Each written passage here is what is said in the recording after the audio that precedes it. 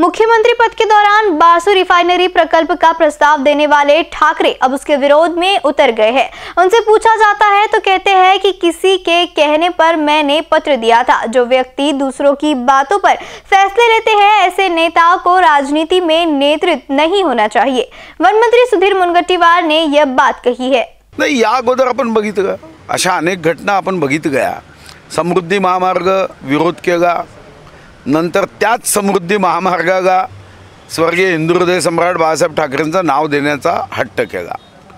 आणि स्वर्गीय हिंदुहृदय सम्राट बाळासाहेब ठाकरेंचं नाव होतं सर्वांनी देवेंद्रजीच्या नेतृत्वामध्ये एकमताने मान्यता दिली.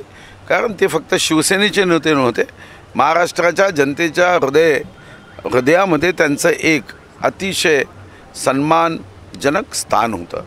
दुसऱ्यांदा आपण पाहिलं मी आता भाजपसोबत सडणार नाही. आगे लोकसभेच्या निवडणुकीत युती केली. तिसऱ्यांदा विधानसभेत आमची युती झाली. आणि मग चोवीस ऑक्टोंबर दोन हजार एकोणीसला चार वाजता जेव्हा लक्षात आलं की भारतीय जनता पार्टीला आपल्या मदतीशिवाय सरकार करता येत नाही तेव्हा मग त्यांनी खरं रूप दाखवलं.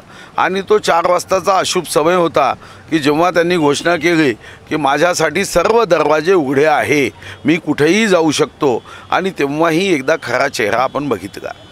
आत्ता आपण नाणारच्या प्रकल्पाच्या वेळी त्यांनी सांगितलं की नाणार प्रकल्पाच्या ऐवजी आपण दुसरीकडे जागा देऊ.